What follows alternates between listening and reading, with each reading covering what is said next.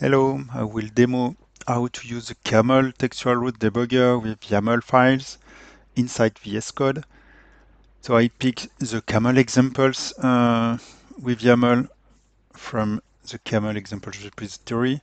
I applied a little modification, which is to add the dependency camel debug. Um, to facilitate the, the, the debugging, I put it directly like that small modification too. I use a timer instead of quartz um,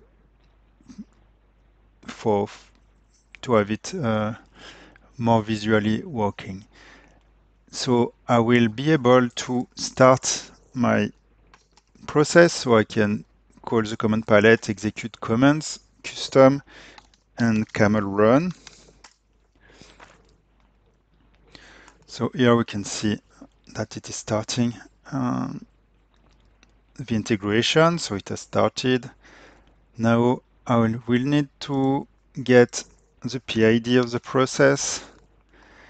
Here, uh, the PID is the one from the launcher, which is the Maven launcher.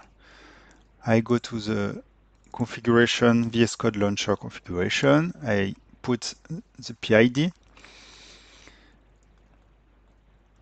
For you, you will have to create the, the wall file, but I created it beforehand to go faster.